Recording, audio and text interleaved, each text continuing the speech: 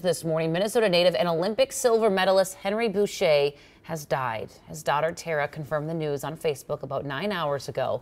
This morning, the Minnesota Wild are remembering the former North Star. According to the Star Tribune, Boucha became a high school hockey legend at Warroad and helped the U.S. win silver in the 1972 Olympics. Funeral and visitation services are still in the works. Boucha was 72 years old.